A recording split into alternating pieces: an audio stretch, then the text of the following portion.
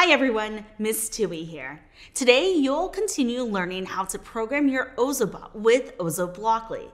Today we'll focus on sequencing. For today's lesson, you will need an Ozobot fully charged and calibrated and your Ozoblockly editor. We'll be working in level 2 today.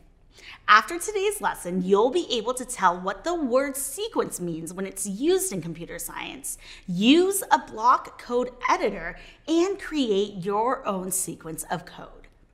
The word sequence can be used in many situations. Most often, it is a group of events that happen in a certain order. For example, when you get dressed in the morning, you put on your pants, socks, and shoes. Do you put on your socks first or your shoes first? I would say most people put on their socks first. What would happen if you put on your shoes first? In computer science, a sequence is an ordered set of instructions. In other words, it is a series of commands or codes that happen in a certain order. Most of the time, the order of codes is important. Sequence can also be used as a verb or action word, which means to arrange instructions in a certain order. Let's get started.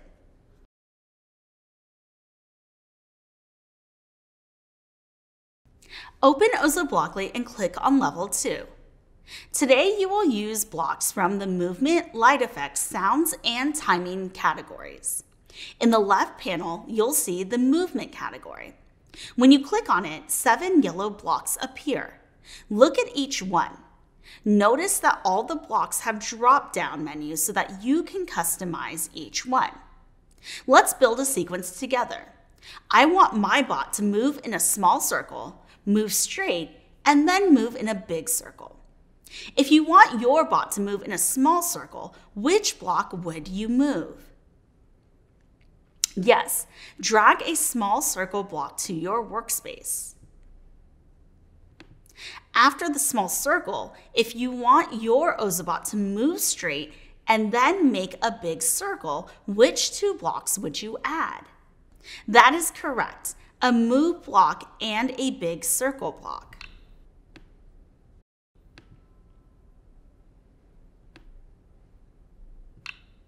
Can you drag a small circle block, a move block, and a big circle block to your workspace?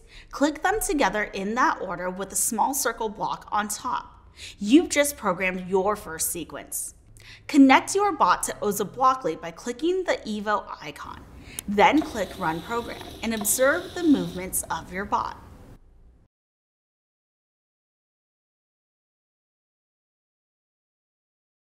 Now you have three blocks in your workspace. Each block can be adjusted in different ways. The first dropdown is speed.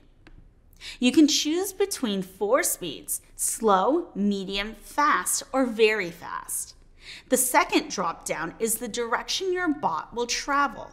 You can choose to have your bot travel forward or backward. The third dropdown is the direction your bot will turn to begin the circle. You can choose to have your bot turn left or right. The fourth dropdown is the time or how many seconds your bot will move in a circle for. You will program your bot to make a slow, small circle forward to the right for four seconds. Next, you'll adjust the move block. The move block has three dropdowns. The first dropdown tells the bot which direction to move, forward or backward. The second dropdown tells the distance your bot will travel in steps. The third dropdown is speed. The last dropdown, speed, allows you to choose slow, medium, fast, or very fast. You will program your bot to move backward, five steps, fast. Lastly, you'll look at the big circle block. It has the same drop downs as the small circle block. You will program your bot to make a fast, big circle backward to the left for three seconds. Let's run the program.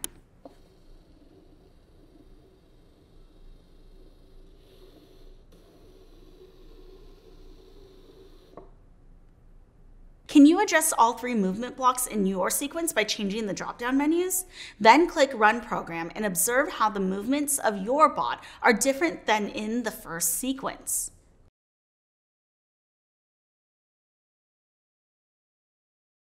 Next, you'll add some light effects to your sequence. Click on the light effects in the block panel. There are eight blocks to choose from. Take a moment to look at each block and imagine what you think each block might program your bot to do. You will program your bot to display a rainbow, the lights on a police car, and fireworks. Can you drag one rainbow, one police car lights, and one fireworks block to your workspace?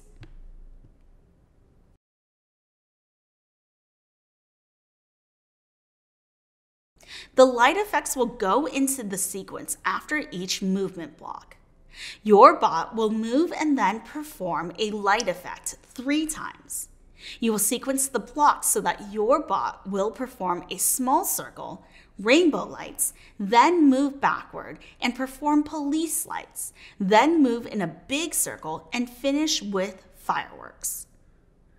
If I want my bot to make a small circle and then do rainbow lights, where do you think my rainbow block needs to go? Yes, the rainbow block will go right underneath the small circle block. When you drag the rainbow block toward the small circle block, the connection bumps will turn white. You can drop the block and the rainbow block will be inserted into the sequence under the small circle block.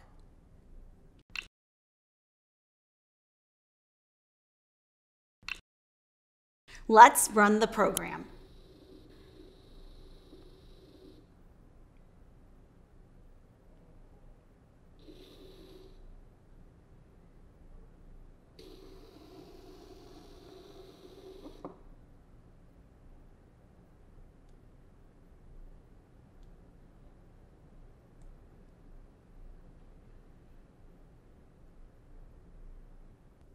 Can you put the blocks in sequence, small circle, rainbow, move backward, police car lights, big circle, and fireworks? Run the program and observe the sequence of actions and effects.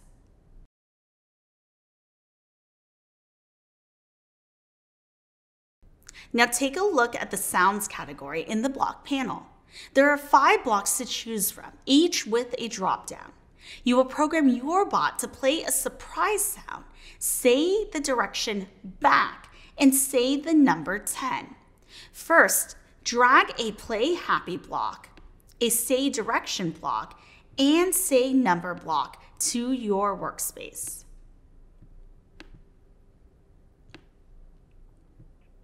Then you'll customize each block before putting it into the sequence. Which drop down options would you choose if you wanted your bot to play a surprise sound, say the direction back, and say the number 10? You won't be adding these blocks to your sequence just yet. On the play block, can you choose the option surprise? On the say direction block, can you choose back? And on the say number block, can you choose 10?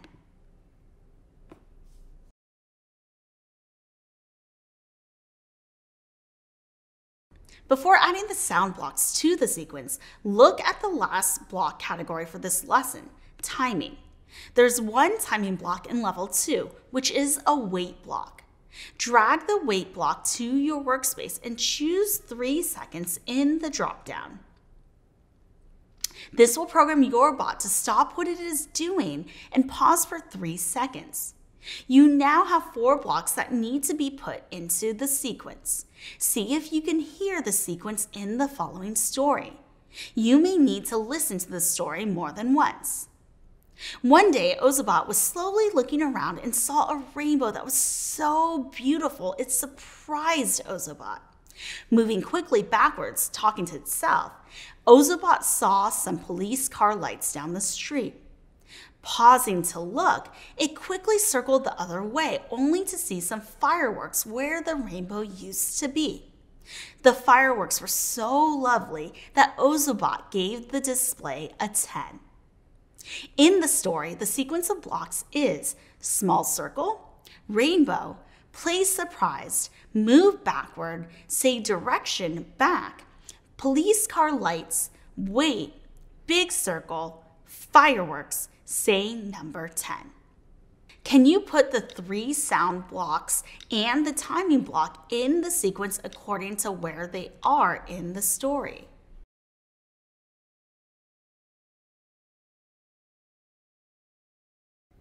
Once you've got your sequence ready, play the story again and run your Ozobot with the story. One day, Ozobot was looking around and saw a rainbow that was so beautiful it surprised Ozobot. Moving quickly backwards, talking to itself, Ozobot saw some police car lights down the street. Pausing to look, it quickly circled back the other way, only to see some fireworks where the rainbow used to be. The fireworks were so lovely that Ozobot gave the display a 10.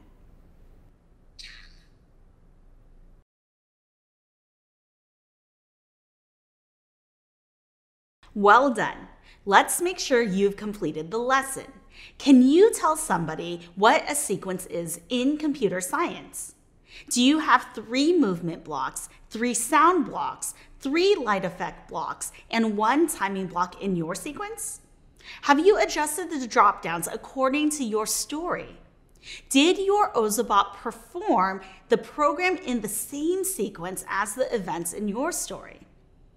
If you're looking for more to do, you can create another sequence using different blocks from the categories in level 2 and observe the differences in your bot's behavior. Or you can write a short story and program your bot to follow the events in your story. Come back again soon for our next lesson.